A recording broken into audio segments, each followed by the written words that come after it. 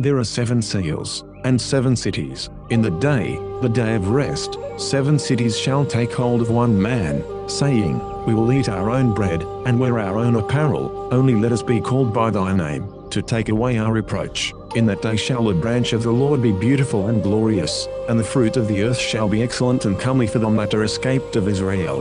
The Lord of hosts shall be exalted in judgment, and God that is holy shall be sanctified in righteousness. Then shall the lambs feed after their manner, and the waste places of the fat ones shall strangers eat. On the opening of the seventh seal, there will be silence in heaven about the space of half an hour. In the right hand of him that sits on the throne is a book written within and on the backside, sealed with seven seals. The Great Spirit will restore sovereignty to the tribes of Native America, and will restore their lands. The Most Merciful is glorified, all who serve him are but honored servants. They never speak before he has spoken, and they only act on his command. He knows what is before them, and what is behind them, and they do not intercede except for him whom he approves, and they tremble in awe of him, and whoever of them says, I am a god besides him, we will reward him with hell. Thus we reward the wrongdoers.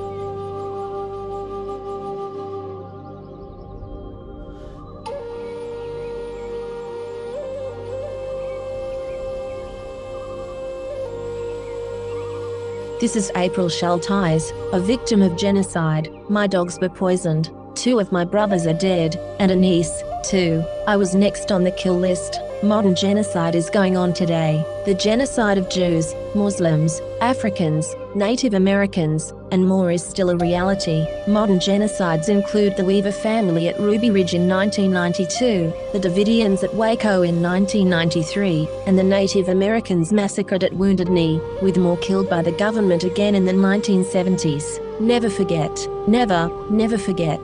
The scriptures say, Truly my soul waits upon God, from him comes my salvation.